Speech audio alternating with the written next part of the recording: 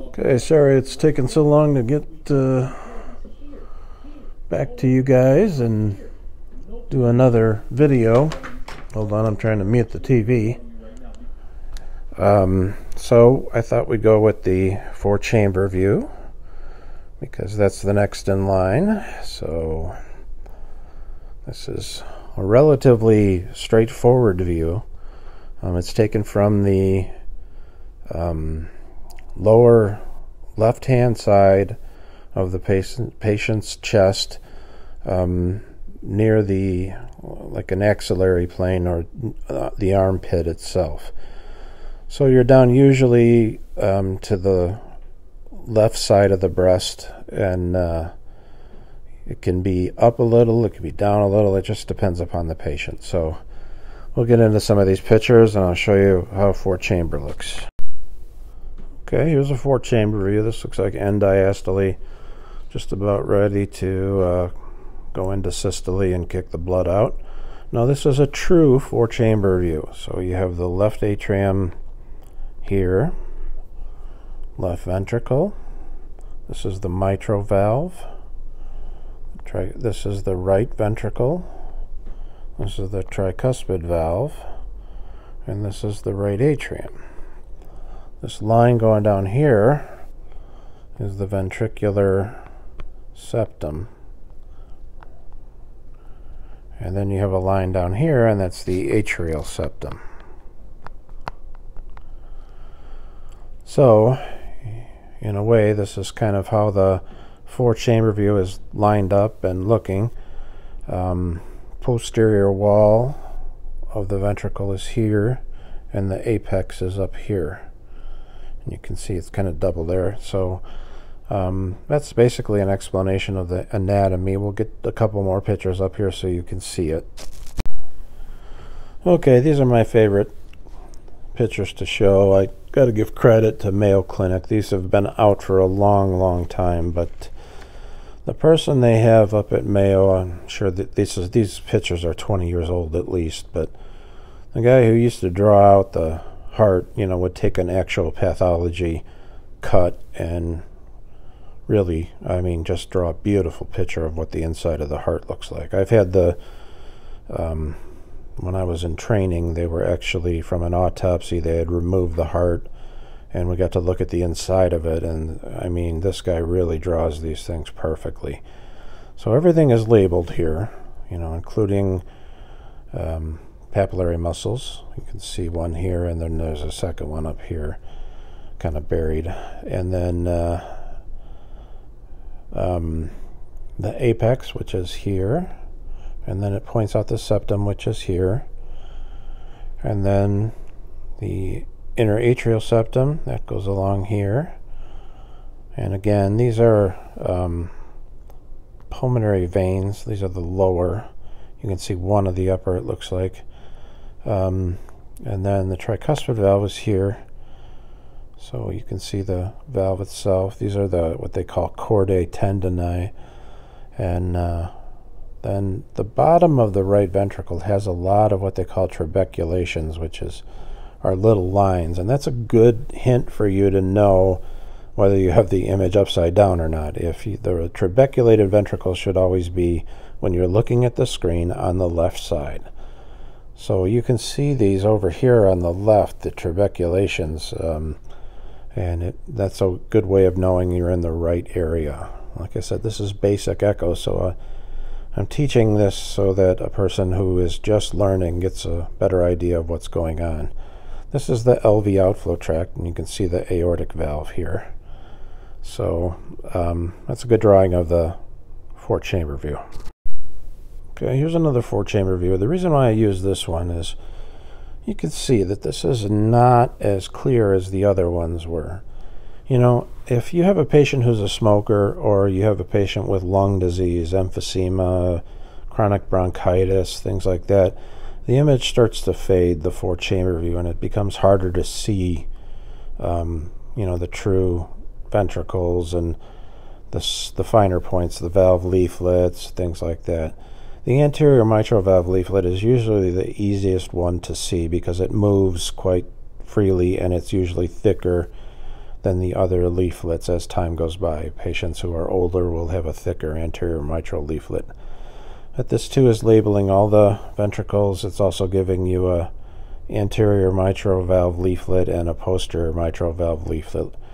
Um, but in this view, it's almost impossible to see the posterior, sorry, mitral valve leaflet. But this is a good way of showing you that not all four chambers look perfect. Okay, here's one with uh, super information on it. Uh, it's got a little bit of everything. This is systole, so this is when the LV itself is contracting. So you can see that um, the walls are starting to kind of come inward so that the ventricle is squeezing everything out. If you could see the aorta, it would be going this way. Um, that's what's called a five chamber view um, or a four chamber with the aortic outflow and, and the leaflet there. It's just uh, a five chamber is considered a different view in some places. It's other places they just put it in with the four chamber view.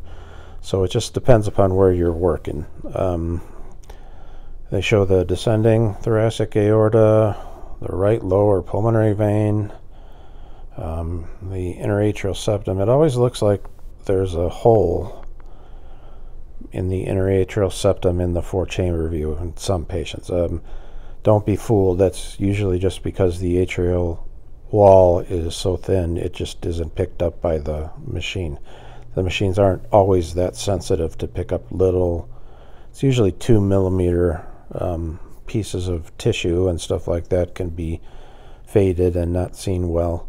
Um, but everything else is labeled here the ventricular septum, the tricuspid valve leaflets, mitral valve leaflets. But it's a good view and it's a good one to see um, if you want to, you know, give a uh, uh, print it and you know, give a good way of looking at it. It's, uh, it's a good view. Okay, technically this is a four-chamber view, but this is a four-chamber view with someone who has a very enlarged right side of the heart. As you can see, you know, the right atrium and the right ventricle are much bigger than the whole left side of the heart. Um, there's also, PE stands for pericardial effusion. So if you look at that, um, there's a pretty large pericardial effusion on this patient. It's, it's probably not significant in the sense of causing the patient a significant amount of problem because the pressures in the right ventricle and the right atrium are so high that it's hard for enough fluid to get in there to collapse. And this could be a patient who just had a pulmonary embolism, it could be a patient with significant uh, lung disease and the pressures in the right side of the heart have, you know, just gone way up and, and caused the right side to dilate. Um, one of the problems that can happen in this situation is they go into heart failure not only because the right side is big, but also because it's compressing the left side of the heart and you don't get as much blood into the left ventricle.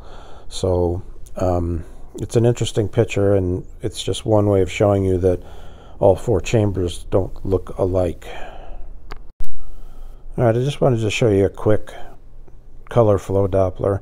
I want to get into color flow Doppler on a separate separate lessons, but I thought I'd show you this. This is the LV in systole, and it's pushing out the blood through the aortic valve, and you can see that right here anything going away from the transducer, which is up here, um, depending upon which kind of machine you're using. Sometimes they put it here, sometimes they put it here, sometimes they put it here.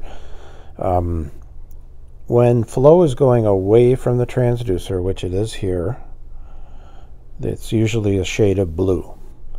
If it's going towards the transducer, like this way, it's a shade of red. So keep that in your mind as a basic way of interpreting color flow.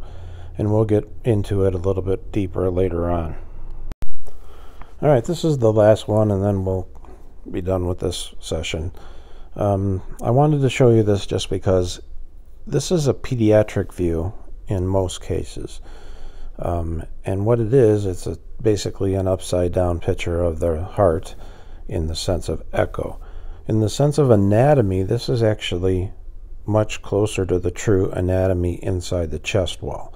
So this would be like if you were looking almost directly into the chest from the, you know, the patient being in, you know, standing up next to you or in front of you.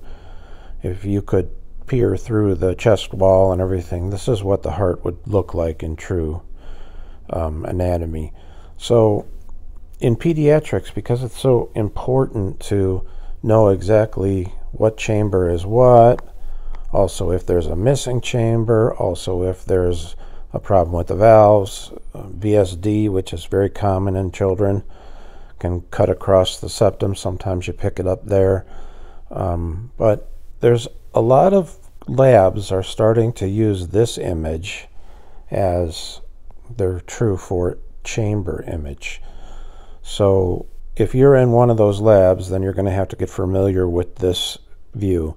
Um, as time goes on, I hope that they actually go to this view and change the four chamber to this because it's really much easier when you grasp it, um, especially with color flow and everything like that. So we'll see. Maybe it'll change. Um, it hasn't changed in 30 years because that's how long I've been in the field. So I don't know if they'll ever change it, but if they do, I think it's a good idea.